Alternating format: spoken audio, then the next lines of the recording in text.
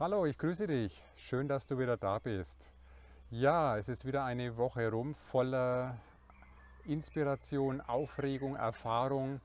Wir haben jetzt diese Woche 52 Trainingskilometer hingelegt, haben unwahrscheinlich viel an Erfahrungen machen dürfen, haben jetzt das erste Mal unsere längste Strecke mit 26 Kilometern absolviert und heute war so ein bisschen gechillt mit äh, knapp 10 Kilometern, ähm, wo wir ein bisschen ja auch jetzt Technik ausprobiert haben, also sprich Rollen, Kugellagern, weil Freitag war recht lustig. Carmen hat sich die Zunge aus dem Leib gelaufen und ich habe, wie soll ich sagen, eine überreizte Hüfte, weil ich die ganze Zeit nur bremsen musste, dass ich sie nicht zusammenfahre.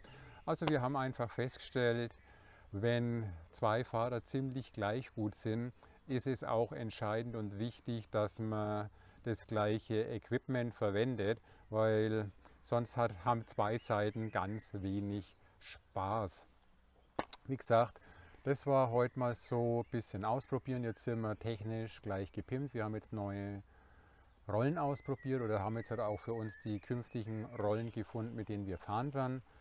Ja, jetzt werden wir nächste Woche gucken, ob wir unser gesetztes Ziel Marathon-Distanz knacken können. Also du darfst natürlich da gerne die Daumen drücken, aber nicht nur für nächste Woche, dass wir den Marathon schaffen, sondern du darfst jetzt schon den Daumen drücken, wenn dir das Video gefallen hat.